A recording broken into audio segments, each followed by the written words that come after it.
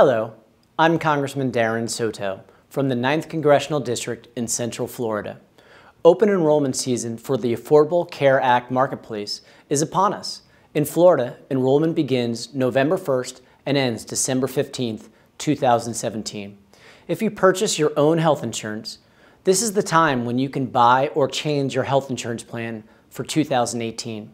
If you live in Central Florida and want to enroll, visit healthcare.gov or call 1 800 318 2596.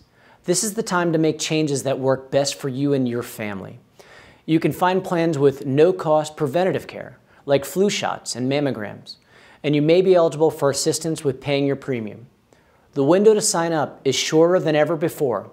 December 15th is fast approaching, so be sure to visit healthcare.gov or call the number below for more information. Free help is available in signing up for coverage. I also will be hosting events in Central Florida providing more information. Reach out to my office if you have any questions. Don't delay. Get covered.